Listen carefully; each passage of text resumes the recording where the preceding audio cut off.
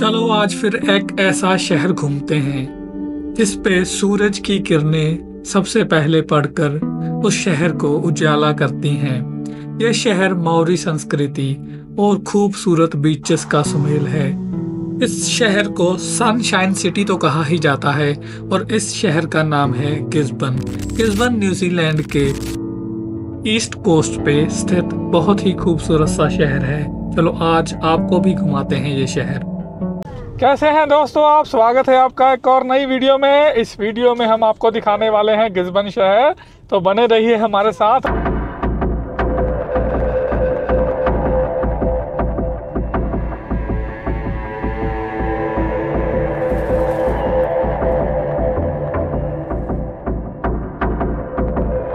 गिजबन शहर, आप देख लीजिए कितना खूबसूरत दिन है।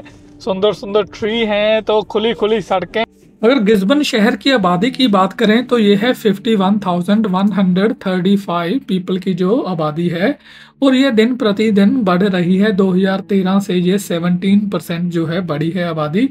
यहाँ पे नए नए लोग आके बस रहे हैं।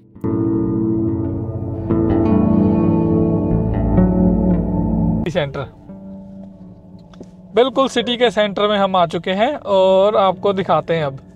ये वाला मैं क्लॉक की बात कर रहा था, उसके इर्द गिर्द देखिए ट्री कितने सुंदर लग रहे हैं इसके। एक बज के पाँच मिनट हो चुके हैं और हम पहुँच चुके हैं गिजबन के मेन सिटी में। अभी तो हम आपको गाड़ी में टूर दे रहे हैं। गिजबन शहर का और बाद में हम आपको पूरी तरह घुमाएँगे, लेकिन उससे पहले क्या करना है? हमें लगी है भूख और हमें खाना है, कुछ अच्छा सा खाना। तो फैमिली सलाह करेगी क्या खाना है हमें। उसके बाद आपको म्यूज़ियम दिखाएँगे, जो कि असली हिस्ट्री है गिजबन की, वो भी इस वीडियो में दिखाएँगे और बीच भी घुमाएँगे। जितनी भी शॉप हमें जो हेस्टिंग में दिखाई देती है ना सारी शॉप्स यहाँ पे जो बड़े बड़े ब्रांड हैं नेशनल यहाँ के ब्रांड हैं तो आप, हमें सारी की सारी शॉप्स वो दिखाई दी। एक दो हो सकता है मिस हो गई हो, लेकिन मोस्टली जो शॉप्स है यहाँ पे हमें दिखाई दे गई हैं इस एरिया में। शहर का आर्किटेक्ट तो देखिए, जैसे ना पूरी रूह से बनाया गया हो, किसी ने दिलो जान से मेहनत की हो इसे सजाने में शहर को। और ये शहर इतना खुशकिस्मत है कुदरत भी इस पे मेहरबान है। दुनिया का ये उन चुनिंदा प्लेसेस में से एक है, जहाँ पे ये सूरज देवता की पहली किरणें जो है, सबसे पहले यहाँ पे दर्शन देती हैं। यहाँ के लोग जो है ना, सूरज को सबसे पहले देखते हैं। तो सहज को खाना है जी इंडियन फ़ूड यहाँ पे। आगे यहाँ पे ना कि बॉलीवुड स्टार रेस्टोरेंट है, वो सामने दिखाई दे रहा है। ये जो आपको दिखाई दे रहा है, ये है बॉलीवुड स्टार तो इसके अंदर चलते हैं, देखते हैं, अगर कोई वेजिटेरियन ऑप्शन मिल गई तो वेजिटेरियन खाते हैं वहाँ पे चल के। तो हमने यहाँ पे रेस्टोरेंट में आकर काफ़ी ऑप्शंस देखी और कढ़ाही पनीर और मलाई कोफ्ता का हमने ऑर्डर दे दिया। बच्चों का तो यहाँ पे मौज लग गई। उन्हें तो इंडियन खाना पहले ही पसंद है। हम घर पे ही इंडियन बनाते हैं। तो साथ में नान आए हैं और राइस यहाँ को, यहाँ पे आपको करी के साथ डिश के साथ ही मिलते हैं। तो हमारे लिए ये इनफ था चार लोगों के लिए। बाकी बाहर चल के बताते हैं कि कैसा रहा हमारा एक्सपीरियंस लंच हमारा हो गया है और मैं बानी को लेकर आ गया हूँ। लंच हमारा हो गया बेलीवेट जो रेस्टोरेंट है इंडियन रेस्टोरेंट जो गिजबन में है, यहाँ पे हमने कर लिया लंच। तो इनके जो मेन ओनर हैं, महेंद्र सिंह नागरा जी, वो हेस्टिंग में ही रहते हैं और मैं उनको पर्सनली भी जानता हूँ। काफ़ी अच्छा बहुत ही बढ़िया, काफ़ी समय के बाद इतना अच्छा इंडियन खाने का मिला। शेफ जो थे, बहुत ही अच्छे थे। तो 50 डॉलर का आप लगा के चलिए न्यूजीलैंड का 50 डॉलर इंडिया के 2000 रुपए हो गए। अगर इंडिया में भी आप किसी अच्छी जगह पे बैठते हैं तो 2000 1500 2000 चार चार जने थे हम, चार जनों का आसानी से लग जाता है। लो जी, जैस और सहज भी आ चुके हैं, और अब चलने की बारी है। तो ये कुछ फ़ूड खाने के बाद हम गिल्बन की गलियाँ घूम रहे हैं, गिल्बन एक्सप्लोर कर रहे हैं। यहाँ पे ना इस पे सभी जो ट्रेड होते हैं, जैसे जो नोवस ग्लास आ गया, या कोई और जो कंपनियाँ हैं, वो इस रोड पे हैं। अब जा रहे हैं हम म्यूज़ियम है यहाँ पे। एक म्यूज़ियम को दिखाते हैं आपको। ये आ गया जी टायरा विटी म्यूज़ियम है इसका नाम। तो पार्किंग रोड पे ही होगी शायद। खुला तो है, पर देखते हैं रोड पे ये पार्किंग के पीछे है कहीं। कोई दिखाई तो दे नहीं रहा, लगता है म्यूज़ियम में कम ही आते हैं लोग देखने के लिए। चलो, हम देखते हैं, चल के। इसमें ना पता चल जाता है शहर के बारे में, शहर के कल्चर के बारे में। म्यूज़ियम आपको बहुत सी नॉलेज देता है कि शहर कैसा है, इसकी हिस्ट्री कैसी है।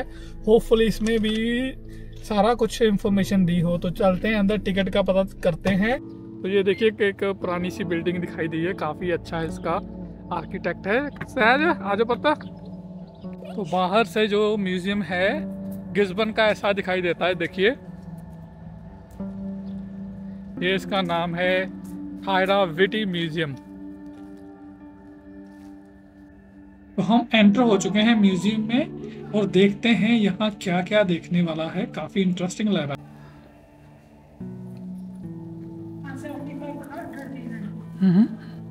Seven five seventy five hundred dollar.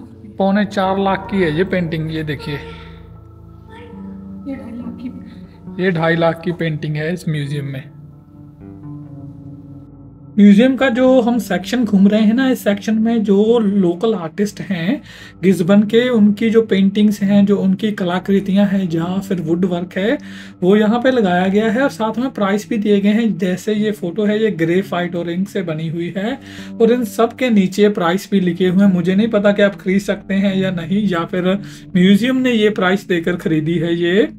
चीज़ें तो काफ़ी जो यूनिक सी चीज़ें हैं, वो यहाँ पे पड़ी हुई हैं। ये गिटार देख लीजिए, वो सामने जो आपको टोकरी नुमा कैप्स या बैग्स दिखाई दे रहे हैं, ये मौरी आर्टिस्ट जो हैं, जिन्होंने अपने हाथ से बुने हैं। काफ़ी यूनिक है इनका कल्चर मौरी कल्चर आगे आपको इससे भी ज़्यादा इंटरेस्टिंग जो है चीज़ें दिखने वाली हैं इस म्यूज़ियम में।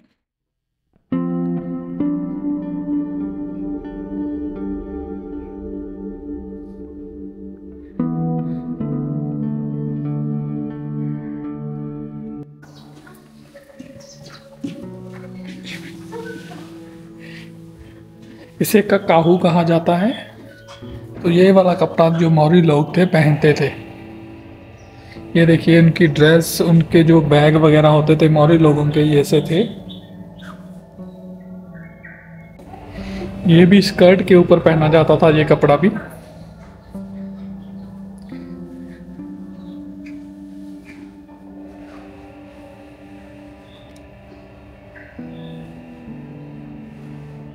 ये वॉल हैंगिंग है इनकी, जिसे विटाऊ वॉल हैंगिंग कहा जाता है। ये काहू की भी है। ये भी ड्रेसेस है मौरी लोगों की, काहू की भी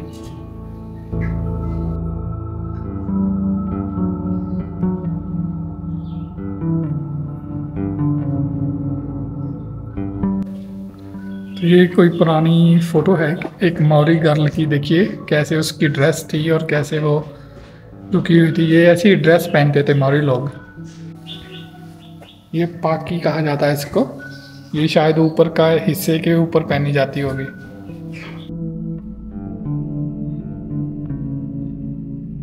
ये हमें जी हैंड कलर जो फोटोग्राफी है, पैरेलल यूनिवर्स के बारे में वो दिखाई गई है, ये देखिए। ये 1940 की फ़ोटो है। ये वाली टू गर्ल्स की और ये वाली 1920 की फ़ोटो है और ये 1930 की। ये देखिए, उस समय की फ़ोटोज़ हैं, कितनी पुरानी है, लगभग 100 साल पुरानी फ़ोटोज़ हैं ये। ये फ़ोटो 1901 की है। ये हैंड पेंटिंग की गई थी उस समय, पुराने समय में। ये देखिए, ये कार की फ़ोटो देख लीजिए। ये देखिए पुरानी फ़ोटो ऐसी होती थी। ये फ़ोटो 1960 में खींची गई थी ये वाली। और ये पोर्ट्रेट्स हैं ये सारे पोर्ट्रेट्स काफ़ी पुराने ये देखिए ऐसी फ़ोटो तो हमारे घर में बच्चों की भी होती थी ना। पर ये ओरिजिनल फ़ोटो है जो कि 1900 सन में खींची गई थी ये वाली बेबी की। Baby baby. ये सारे बच्चों के पोर्ट्रेट हैं। उस समय ऐसे भी पोर्ट्रेट बनते थे ये देखिए ग्लास में।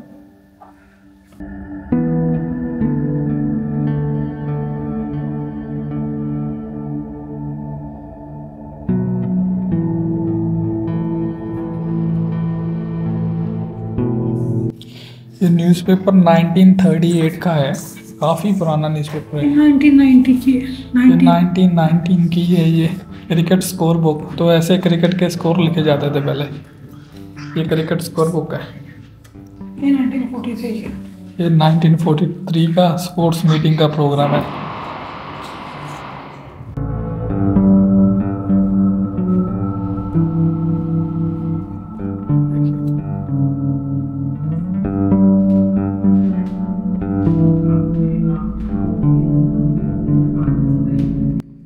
ना म्यूज़ियम का बड़ा ही इंटरेस्टिंग सा सेक्शन आ गया। ये देखिए, मछली पकड़ने वाली ये टोकरी है। बड़ी मछलियाँ शायद पकड़ते होंगे, छोटी तो निकल जाती होंगी इसमें। और ये देखिए ये कुछ मौरी सिंबल जो पुराने ही चीज़ें वो रखी हुई हैं। ये आपको चप्पू दिखाई दे रहे हैं।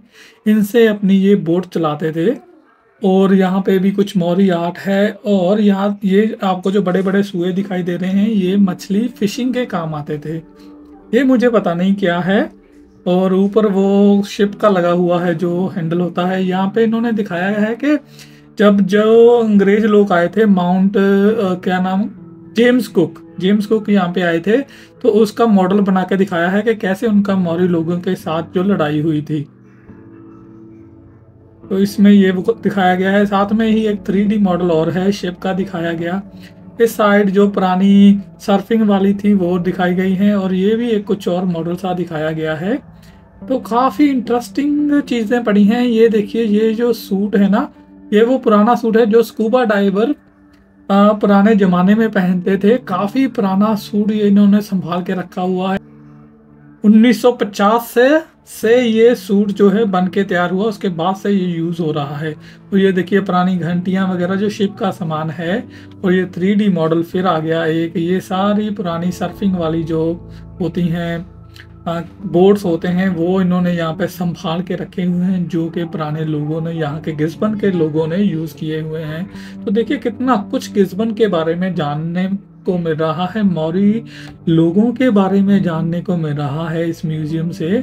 तो काफ़ी इंटरेस्टिंग से जो फैक्ट्स हैं वो सामने, जो मुझे पहले पता ही नहीं थे, चाहे मैं न्यूजीलैंड में इतने लंबे समय से रह रहा हूँ, इन सब चीज़ों को देख के जो मुझे पता लग रहा है, जो मुझे नॉलेज हो रही है, वो शायद कभी ना होती अगर मैं यहाँ पर नहीं आता।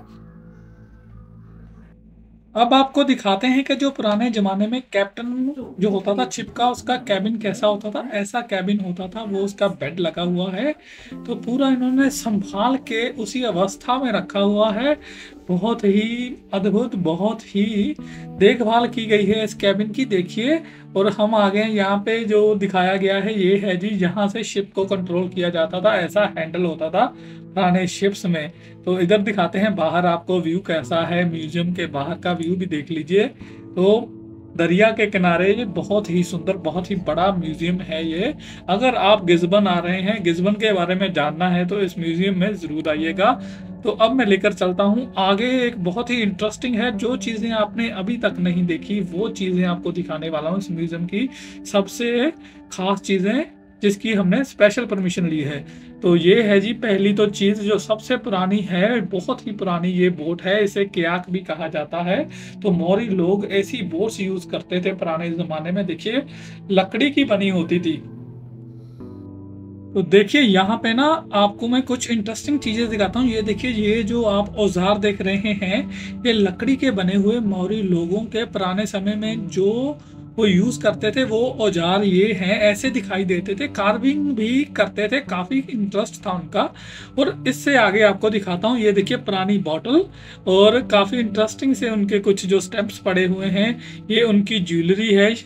ये ज्वेलरी जो अब गोरे आए थे ना, यहाँ पे अंग्रेज़ लोग आए थे, उसके साथ ये आई थी। तब गोरे अपने साथ ये कल्चर लाए थे। ये नाइफ भी जो मेटल के हैं वाइट लोगों के साथ ही आए थे।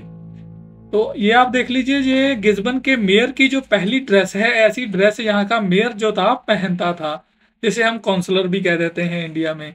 तो ऐसा इनका साइन लगा हुआ है, जो ऐसा साइन है, ये सारी जो स्पोर्ट्स यहाँ की टीम थी, उनकी कैप्स हैं, उनका सामान रखा गया है। और ये इंटरेस्टिंग चीज़ है सबसे, ये इसमें क्या है कि ये पूरे के पूरे जो आप देख रहे हैं ना, ये बनाए गए हैं जो वेल मछली है उनकी हड्डी से। और आगे देख लीजिए, कुछ शंख है, कुछ और मौरी जो कल्चर से रिलेटेड सामान है। अगर देखा जाए तो ये शंख हमारे इंडिया में भी ऐसे मिल जाते हैं। ये समंदर के करीब होने की वजह से समुद्र के तो इनका कल्चर समंदर से काफ़ी प्रभावित है।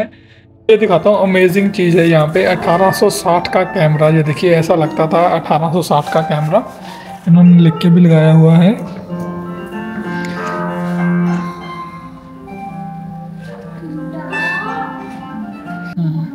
ये 1956 का ये रिवॉल्वर देख लीजिए कैसा है।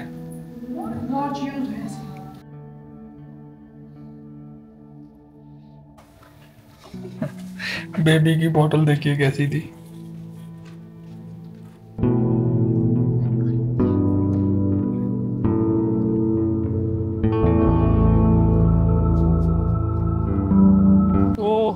होके आए हैं अंदर म्यूज़ियम में। क्या इंफॉर्मेशन थी, क्या हिस्ट्री की जानकारी थी? तो काफ़ी अच्छा लगा हमको। फाइव डॉलर टिकट के थे, हमने दिए एक पर्सन के। बच्चे दोनों फ्री थे। तो काफ़ी इंटरेस्टिंग था ये म्यूज़ियम। काफ़ी कुछ जानने को मिला। तो किसी भी शहर में जाया करें तो वहाँ का म्यूज़ियम अगर हो सके तो ज़रूर विज़िट करें। तो बाज़ार में हमने लगा दी है गाड़ी। हवा बहुत चल रही है। तो अब दिखाते हैं आपको थोड़ा सा गिजबन इसका आर्किटेक्ट सबसे पहले मैंने गाड़ी यहाँ पे लगाई है। उसके सामने ना, ये देखिए। बिल्कुल ये देखिए कैसी है ये बिल्डिंग। होटल मोटेल है, लिखा हुआ इस पर कुछ। तो ऐसा है यहाँ पे गिजबन का आर्किटेक्ट। देखिए काफ़ी पुरानी लग रही है। टोंगले बिल्डिंग ऊपर नाम भी लिखा हुआ है बिल्डिंग के। शायद ये सौ साल से तो पुरानी होगी मेरे ख्याल से। ये गिजबन का रबिश बिन मैं आपको दिखाने लगा हूँ। ये रबिश बिन भी देखिए ना, जैसे लेटर बॉक्स नहीं होता, वैसे शेप का बना हुआ है। वैसे इस रोड के बीच में दोनों तरफ़ डिवाइड करने के लिए रेलिंग वगैरह लगी हुई है। ये आ गया एक और रास्ता। आपको शॉप्स ही शॉप्स दिखाई देंगी, क्योंकि सिटी में शॉप्स ही शॉप्स होती हैं। पर मुझे मैंने पहले भी आपको बताया था कि ये ट्री वाला जो एरिया है ना ट्री जहाँ पे लगे हुए हैं, एक लाइन में काफ़ी अच्छे लग रहे हैं। सामने जो रोड दिखाई दे रहा है, ये है ग्लैडस्टोन रोड और ये सामने इस वाले साइड पे है पील स्ट्रीट ये देखिए रूफ देखिए यहाँ पे, काफ़ी पुरानी रूफ है। तो ऐसे पुराने ज़माने वाले जो बीम्स डाल के इसको बनाया गया लगता है तो काफ़ी स्टेबल है अभी तक, काफ़ी सालों से रुकी हुई है। और यहाँ पे बिल्डिंग्स कुछ की तो रिकन्स्ट्रक्शन चल रही है अभी रिपेयर की जा रही है आर्किटेक्ट और वहाँ पे देखिए, एक आदमी अपने बच्चे को बुक स्टडी करा रहा है। चलो आपको नज़दीक से दिखाता हूँ। ये देखिए, पता नहीं क्या स्टडी करा रहा है। तो ये आदमी इसको स्टडी करा रहा है यहाँ पे।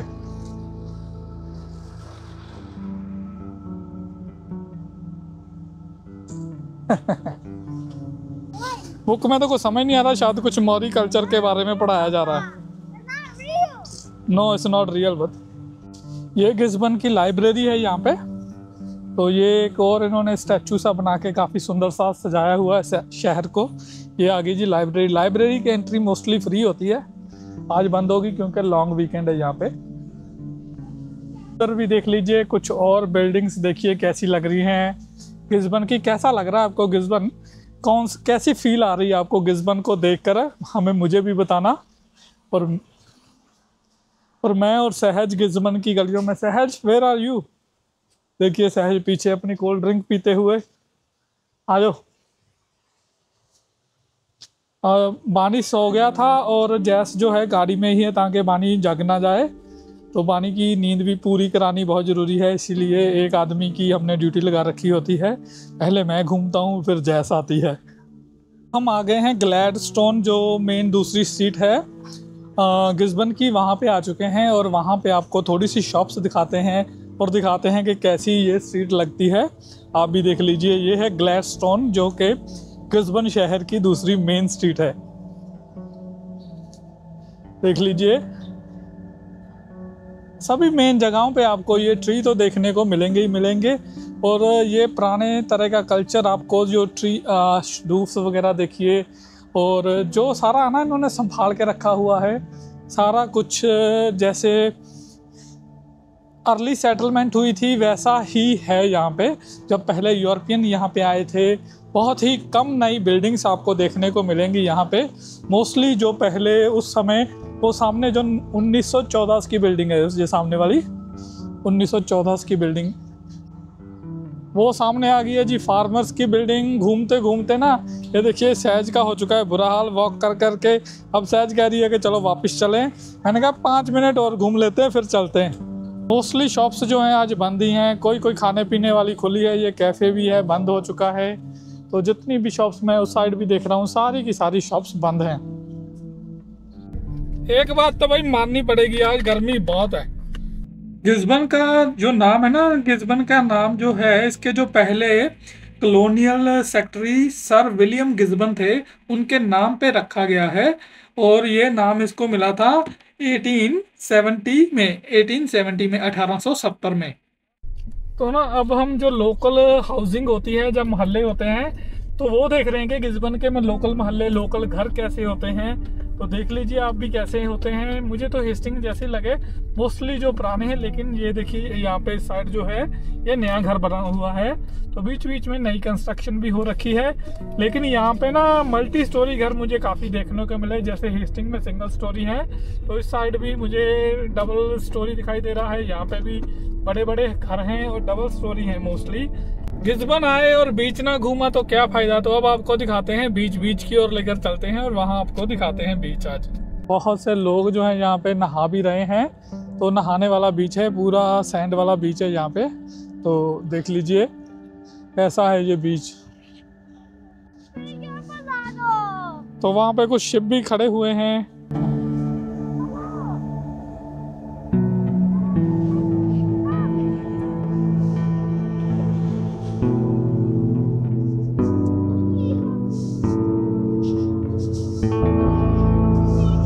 बीच पे हमने आधे घंटे के करीब बिताया तो सहज के देखिए हाथ पाँव ये तो समंदर के पास तक चली गई थी। तो हाथ पाँव सभी जो हैं सैंड के साथ भर गए हैं। तो अब चलते हैं हम आ, गाड़ी की तरफ़ क्योंकि बानी जो है थोड़ा सा पता नहीं क्या हुआ। ये देखिए बानी और बानी की मम्मी जा रहे हैं। गाड़ी की तरफ़ बानी जाता है कि नींद नहीं ना पूरी हुई। जब नींद पूरी होगी फिर ठीक होगा ये। अब हमने कर दिया है गिजबन को अलविदा और बढ़ चले ये हमारा डे ट्रिप ही था। तो अब घर की ओर बढ़ चले हैं।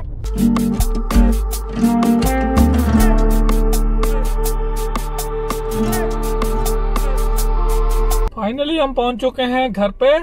तो लो जी, हम गराज में लगा देते हैं गाड़ी सीधी, अंदर। ओ हो हो आज के पास ही था। देखिए, बानी की स्माइल आई है।